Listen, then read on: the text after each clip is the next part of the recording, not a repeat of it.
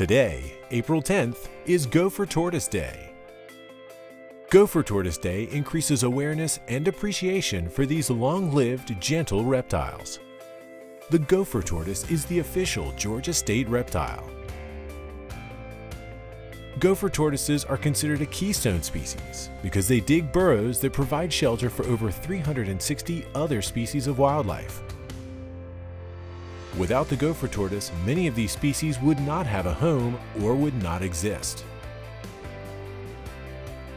The gopher tortoise is listed as a threatened species throughout its range in the American Southeast. The Ashton Biological Preserve is dedicated to protecting the gopher tortoise through education and outreach, including working with private landowners on how to live more sustainably with native wildlife.